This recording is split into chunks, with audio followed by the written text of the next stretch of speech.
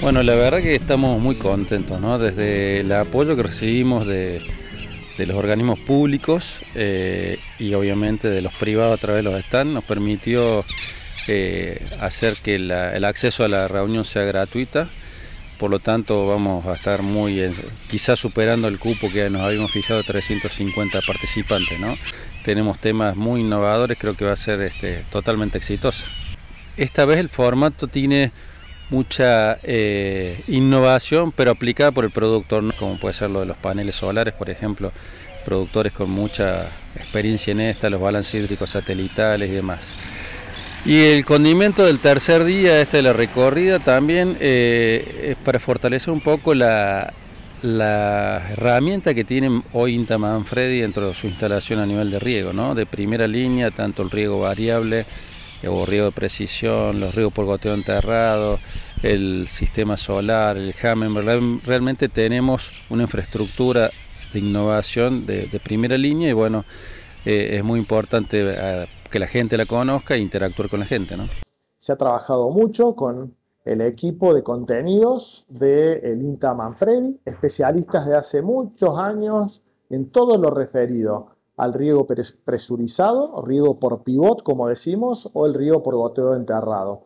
Más técnicas particulares vinculadas a todo lo que tenemos que hacer con riego. Quizás la novedad, la estrella va a ser el nuevo equipo de riego donde por medio de energía solar vamos a mostrar cuáles son los primeros pasos que estamos dando en este sentido.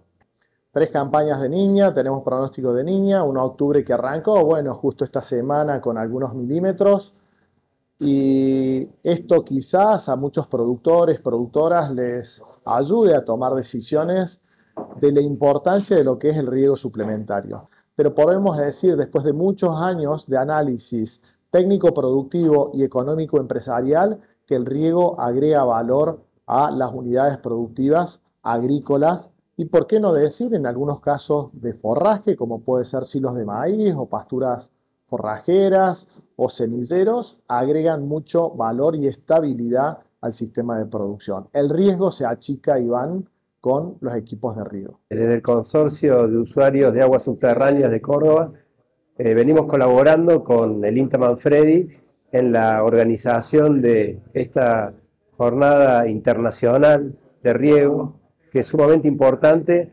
por la calidad de temas que se van a tratar, por la jerarquía de quienes van a disertar esas temáticas.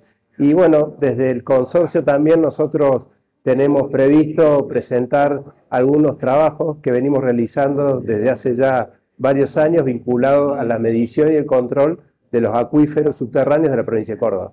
Ya hay gran cantidad de inscriptos, con lo cual las jornadas van a ser un éxito, pero invitamos a aquellos que aún no se han inscrito que lo hagan. Es día 19, 20 y 21 de octubre, las jornadas en el INTA Manfredi, como les había comentado anteriormente.